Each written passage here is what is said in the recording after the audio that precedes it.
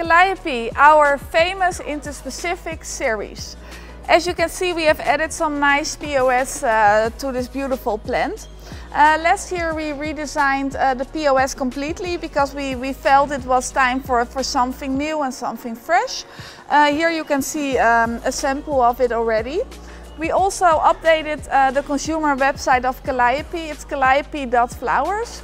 It's really there as a support towards growers and retailers where a consumer um, can search for growing tips. They can download even pictures. We have all information uh, available. They can also contact us for um, points of sale so they can really uh, search for their perfect uh, plant.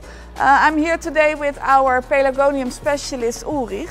Um, Ulrich, can you share something a little bit about the Calliope story? I can, of course. Calliope is developed since quite some years, meanwhile about 15 years, but, and still uh, we are in development to bring new colors.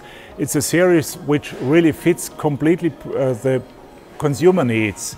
Easy to grow, rich flowering, also uh, let's say low maintenance because uh, the flower holds really long. Uh, it can stand quite some dryness with this interspecific background and especially now also for new consumer generations which are coming in and which do not have the, a negative uh, feeling with pelargonium, they can use uh, this one as a really easy to grow and easy to use for the balcony, for the containers and also in front of the entrance door, for example, really nice flowering through the whole summer.